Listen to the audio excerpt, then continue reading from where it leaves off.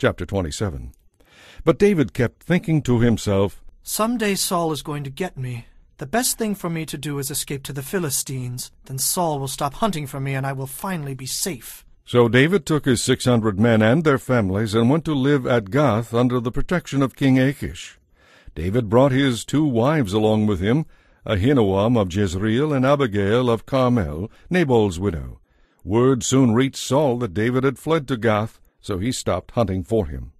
One day David said to Achish, If it is all right with you, we would rather live in one of the country towns instead of here in the royal city.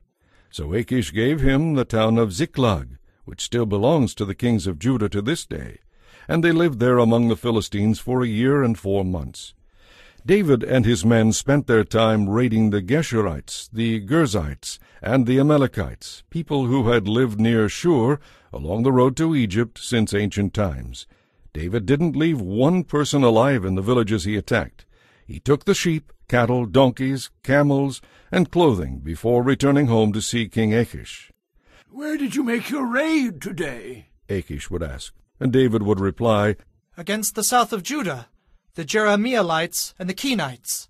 No one was left alive to come to Gath and tell where he had really been.